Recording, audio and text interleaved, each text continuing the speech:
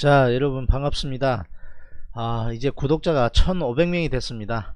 여러분들 아 많이 성원해 주셔서 감사드리고요. 제가 주최하는 것은 아니었습니다. 아 여러분들이 아, 요청이 있어서 아, 1박 2일 강연회 하자.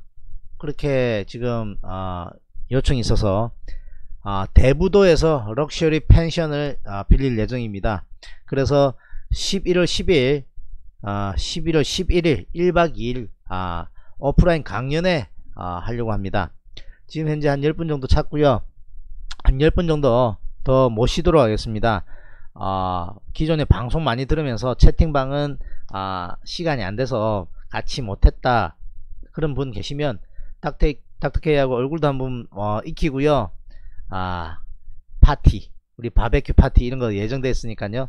주식 쌍초보 탈출 필살기 강연 저는 무료로 할 겁니다. 나머지는 실비 드는 거 아, 일정 확정되면 아마 운영팀에서 공지 나갈 거고요.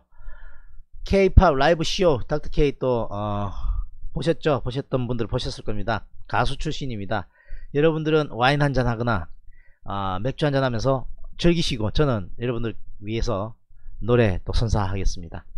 그러면서 아, 아마 수도권 지역에 사람들 많이 계시고 한데 또 평소에 아, 여러 지역에 떨어져 있어서 잘 못 봤다면 어, 서로 친구가 되는 거였죠.